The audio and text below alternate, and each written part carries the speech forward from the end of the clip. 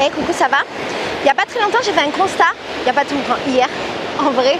Hier, j'ai fait un constat qui était très intéressant. Et euh, j'ai eu genre une grosse prise de conscience de gros bâtard. Fallait que je la partage avec toi. C'est un truc euh, pas exceptionnel, mais quand même, c'était une grande prise de conscience. Ce dont je me suis rendu compte, c'est que le monde n'existe qu'à travers notre regard. Le monde dans lequel euh, on est, le monde dans lequel on vit, tout notre monde n'existe que dans notre regard. Et c'est bizarre parce que euh, une fois que tu comprends ça, tu comprends. Je suis dans la mer, l'eau est froide. Tu comprends à quel point ton monde est tout petit. Je t'explique. J'ai constaté que la manière dont on regardait le monde, généralement, c'était à travers son regard, ses propres biais, ses expériences de vie, éventuellement ses traumatismes, ses projections, ses rêves, ses désirs, tout ça, tout ça. Et euh, je me suis rendu compte que du coup, ça crée un monde qui finalement était tout petit et qui ne représentait pas la réalité parce que ça ne représentait que notre propre réalité. Et euh, j'ai eu cette prise de conscience exceptionnelle euh, à un moment donné quand j'ai commencé à m'intéresser aux plantes. C'est vraiment un exemple et vraiment les plantes dans l'histoire on s'en bat les steaks. C'est juste pour te donner l'exemple. je commence à m'intéresser aux plantes et à un moment donné je vais dans un marché et dans ce marché j'achète une plante trop belle, genre incroyable, elle est rose, elle est magnifique, j'avais jamais vu une plante verte rose. Donc genre plante verte, c'est pas des fleurs, c'est des feuilles, elles sont roses. Je tombe amoureuse, je l'achète super cher, j'en peux plus. La plante elle arrive chez moi, je l'aime d'amour et tous les jours, tu vois, pendant euh, quelques jours, tous les jours je me fais cette réflexion que vraiment j'ai trop de chance, euh, j'ai rencontré une, plante super euh, rare, je suis trop heureuse, tout ça, tout ça. Et après ma lune de miel de plante, je vais dans la rue quand je vais dans la rue, je me rends compte que cette plante que j'ai achetée, elle est ultra commune. Euh, dans le quartier où j'habite, en bas du quartier où j'habite, il y a toute une allée où ont été plantées euh, ces, plantes-là. Et genre toute la rue dans laquelle je marche tous les jours, tous les jours de ma vie, euh, il y a cette plante. Et également, je me rends compte que dans les maisons des gens de mon quartier, il y a cette plante. Et donc ça veut dire que depuis, je sais pas moi, 5 ans, je vois cette plante tous les jours de ma vie, je ne l'avais jamais remarquée.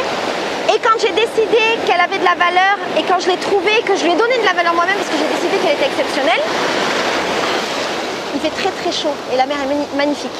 Là, elle est devenue exceptionnelle, elle est devenue mon monde, elle est devenue spéciale, tout ça, tout ça.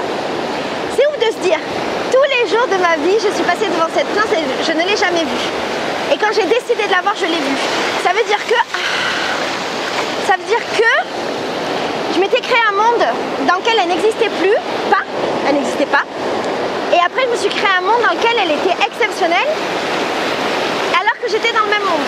Et alors après, j'ai encore une prise de conscience, toujours avec mes plantes. Encore une fois, les plantes, c'est qu'une excuse, parce qu'en temps, on s'en bat les steaks. Mais euh, je me suis rendu compte que j'avais acheté, euh, que après avoir acheté toutes mes plantes, donc j'ai acheté plein plein de plantes, ma maison est remplie de plantes de tous les côtés.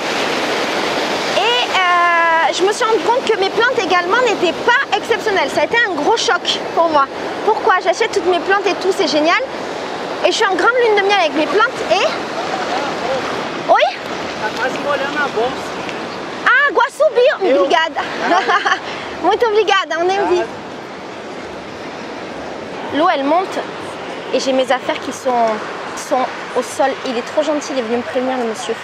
Et donc, je te disais que euh, toutes ces plantes-là, je les trouvais exceptionnelles, magnifiques. J'ai ma lune de miel avec mes plantes et tout, c'était génial. Et pareil, je suis sortie de ma lune de miel à un moment donné, je me suis rendu compte que toutes les plantes que j'avais achetées, elles étaient extrêmement communes et que tout le monde avait ça. Et qu'en fait, autour de moi, il y en avait partout. Genre, j'ai commencé à regarder les maisons, tout le monde avait ça. En dehors des maisons, tout le monde avait ça. Dans les maisons, c'était super commun. Et c'est ça qui m'a fait prendre conscience d'à quel point je m'étais créé un monde dans lequel je voyais que ce que j'avais envie de voir. À partir du moment où les plantes sont devenues importantes pour moi, j'ai commencé à les voir, mais avant ça, elles n'existaient pas. De la, même, de la même manière que parfois, je sais pas si ça t'est déjà arrivé, il y a quelque chose que tu n'as jamais remarqué, on t'en parle, et comme par hasard, après, après tu vois partout. Et souvent, quand c'est comme ça, on se dit oh, c'est le destin maintenant, euh, ce truc-là, il y en a partout, blablabla. C'est pas vraiment ça, c'est pas qu'il y en a partout, c'est juste que dans le monde que tu t'étais créé, ça n'existait pas parce que euh, tu n'y avais jamais prêté attention, parce qu'on t'en avait jamais parlé, parce que voilà, simplement ça n'existait pas, alors que ça existe, tu vois. Mais à partir du moment où tu as prêté attention à cette chose-là, eh ben tu, la remarques et du coup elle, rentre dans ton monde. Ça veut dire que chaque personne fait partie de son propre monde qu'il crée euh, et, personne n'est dans le même monde. C'est ouf quand tu prends conscience de ça. Moi je trouve que ça permet de comprendre plein de chose. Personne n'est dans le même monde. Chacun dans son propre monde personnel. Et on a nos mondes qui se confrontent, qui se juxtaposent éventuellement. Mais c'est une, juxtaposition de monde individuel et de vision du monde individuel. C'est pour ça qu'on ne se comprend pas en tant qu'humain quand on y pense. Je vis dans un monde que j'ai créé de toutes pièces.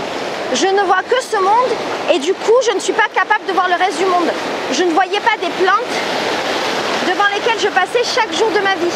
Comment est-ce que je peux croire après que les gens peuvent se mettre à la place des, autres gens peuvent comprendre les autres gens? C'est difficile. Je comprends que ce soit compliqué. Ça me permet de mieux comprendre voilà, peut-être le manque d'empathie, l'ignorance, pas de l'excuser, mais de mieux le comprendre. Et j'avais pas réalisé ça avant. Moi, quand j'ai compris ça, ça m'a donné une sensation de vertige, un truc de ouf. Parce que déjà, j'ai compris que je vivais pas dans la même réalité que les autres.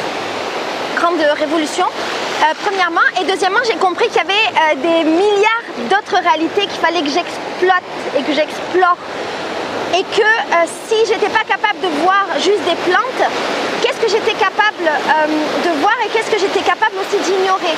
Il y a tellement de choses que je sûrement je ne vois pas tous les jours de ma vie.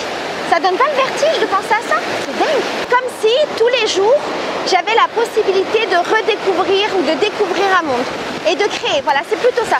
Tous les jours j'ai la possibilité de créer un nouveau monde dans, dans lequel je suis c'est de se dire qu'on peut très bien passer notre vie dans ce monde qu'on a créé sans voir la réalité du monde, sans voir les autres mondes des autres personnes. Et en même temps, la réalité du monde, ça veut dire quoi? C'est ça qui est compliqué. Vu que la réalité du monde, elle est relative à la manière dont on crée son monde. Mais il y a quand même des réalités factuelles, tu vois?